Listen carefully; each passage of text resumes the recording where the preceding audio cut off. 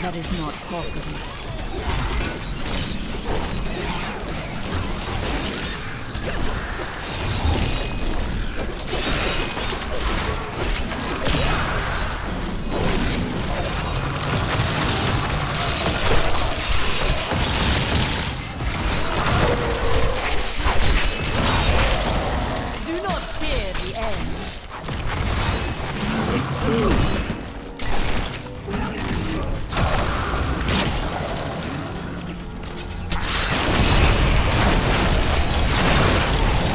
Grave not.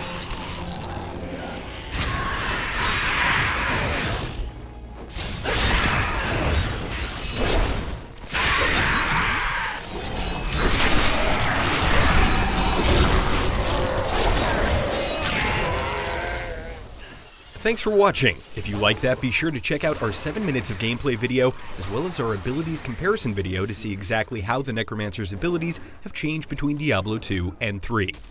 For all things Diablo 3, keep it right here on IGN.